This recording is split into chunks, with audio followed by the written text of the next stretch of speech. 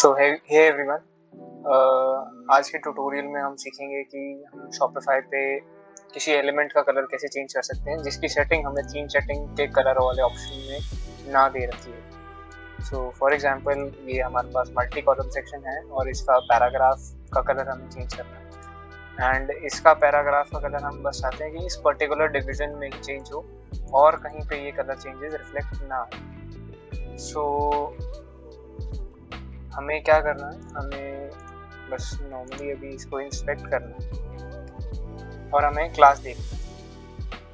तो यहाँ पे क्लास का नाम आ रहा है इसका R T E R T के अंदर पैराग्राफ टैग लगा हुआ है राइट तो अगर हम यहाँ पे देखते हैं कि अगर हम आर टी के अंदर कलर चेंज करते हैं तो क्या ये कलर चेंज होता है? सो so, यस आप देख सकते हो कि आर टी का अगर मैं इनलाइन सी एस एस में कलर चेंज करूँ तो ये सी एस एस काम कर रहा है राइट और फिर अब हमें ये हमने इंस्पेक्ट पे फ्रंट एंड पे करके देख लिया है कि हाँ कलर चेंज हो रहा है। इससे आप ट्राई कर सकते हो कि जो आपने कोड लगाया है, वो काम कर रहा है और वो पर्टिकुलर क्लास के ऊपर काम कर रहा है या नहीं कर रहा राइट तो अब हम देखेंगे कि यहाँ पे जो नीचे वाला सेक्शन है, इस पर अगर हम कलर का वो लगाएँ, क्या ये तब भी काम कर रहा है? हाँ तो आप देख सकते हो ये तब भी काम कर रहा है।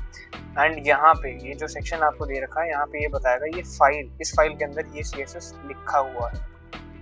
सो so, हमें सिंपली ये सेक्शन ढूंढना है। और ये सेक्शन ढूँढने के लिए हमें जाना है एडिट कोड के अंदर। मैंने यहाँ पे एडिट कोड ऑलरेडी खोला हुआ है। तो आपको यहाँ पे ये फ़ाइल के नाम दिख जाएँगे सारे। हमें ये वाली फ़ाइल देखनी है section multi column dot C S S section multi column dot C S S पे जाना है। एंड हमें सिंपली जाके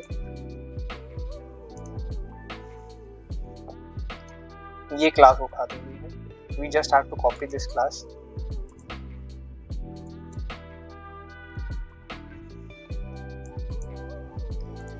अब ये हमारे पास एक पूरी क्लास आ गई है। अब इसमें हम सीएसएस कैसे लगाते हैं? ये बहुत बिगिनर लेवल स्टेप है। और ये वीडियो उनके लिए जिनको बिल्कुल ही सीएसएस या कोडिंग से नहीं आता है उनको बस एक नॉर्मल शॉपिफाई में पर्टिकुलर किसी सेक्शन का या जगह का कलर चेंज करना है तो तो हम लगाएँगे यहाँ पे करली ब्रैकेट्स राइट और करली ब्रैकेट्स यहाँ पे ऑटोमेटिकली अब शॉपिफाई के नए एडिटर में दोनों साइड से देने लग गए तो हम दोनों के बीच में स्पेस क्रिएट कर रहे हैं। तो ये ये बताएगा आपको कि करली ब्रैकेट्स के अंदर आप जो भी स्टाइलिंग लिखोगे, वो स्टाइलिंग यहाँ पे बंद हो जाएगी और यहाँ से ओपन होती है। तो हमें सिंपली यहाँ पे बस खाली कलर लिख देना है, और मैं अभी के लिए लिख रहा हूँ colour white colour, double dots white right? और फिर आपको यहाँ पे ये कोड लगा के एंड कर देना है you just have to save it और फिर हम यहाँ पे एक बार रिफ्रेश करके देखेंगे।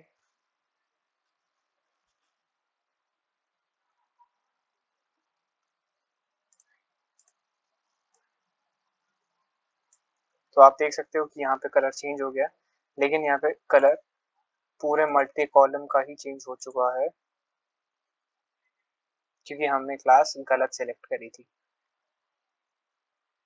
तो अगर हमें इस पर्टिकुलर सेक्शन के सिर्फ़ पैराग्राफ पे ही चाहिए तो हमें ये देखना है कि इसकी पेरेंट क्लास कौन सी है। तो यहाँ पे क्लास इज़ इक्वल टू यहाँ पे आपको पेरेंट क्लास का नाम दिखा रहा है multi column dash card underscore underscore info उसके अंदर हमें देखना है पी टैग क्योंकि ये पेरेंट टैग के अंदर आ रहा है। तो अब हमें बस खाली ये मल्टी कॉलम क्लास सेलेक्ट करनी है। इसको अभी हम हटा देंगे। और क्लास को हमेशा कैच करने के लिए हमें एक डॉट लगाना पड़ता है। तो फॉर एग्जांपल अगर मैं डॉट हटा दूँगा तो ये स्टाइलिंग काम नहीं करेगी। हमें लगाना है डॉट एंड देन क्लास का नाम। एंड देन उस पेरेंट क्लास की हम कौन सी क्लास के अंदर स्टाइल करना चाहते हैं तो आप उस पर्टिकुलर क्लास पे भी लगा सकते हो और H T M L tag पे भी लगा लगा सकते हो। तो पी है जो यहाँ पे, वो एक H T M L tag है। तो हमें बस सिर्फ़ पी टैग पे लगाना है, क्योंकि यहाँ पे इसकी कोई क्लास नहीं दे रखी। तो ये पी टैग है। हमें जस्ट सिंपली पी टैग लिखना है। कलर वाइट करना है। हमें डिफ्रेंशिएशन हो जाए तो अभी मैं इसको रेड कलर कर रहा हूँ, ताकि हमें वहाँ पे शो हो जाए कि चेंज हो रहा है या नहीं हो रहा। अब हम इसे सेव करेंगे। और होपफुली इसका कलर चेंज हो जाना चाहिए।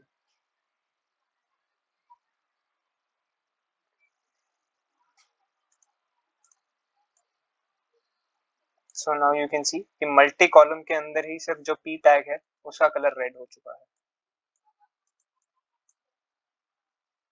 सो थैंक यू और ये बहुत ही बेसिक चीज़ें हैं। हम ऐसे और भी वीडियोस अपलोड करेंगे। जिसमें हम आपकी और हेल्प कर सकें। एंड हाँ ये बहुत नॉर्मल चीज़ें हैं। अगर आप कोडिंग पे जाओगे तो आपको पता चलेगा, ये नॉर्मली हो जाता है। ये एक इन्फॉर्मेशन वीडियो थी कि जिनको एक बस छोटे सी हेल्प चाहिए, जिनको पूरी कोडिंग नहीं सीखनी है और जिनको छोटे छोटे चेंजेस करने हैं और वो इन चीज़ों के लिए किसी फेवेयर पे एक्सपर्ट को या फिर किसी शॉपिफाई एक्सपर्ट को हायर नहीं करना चाहते हैं तो उनके लिए एक बहुत ही फ्री सा और एक छोटा सा हेल्पफुल कंटेंट है। आई होप ये आपको हेल्प करेगा। एंड इसके रिगार्डिंग कोई भी डाउट है तो आप कमेंट सेक्शन पे आप लिख सकते हैं। And yes we can discuss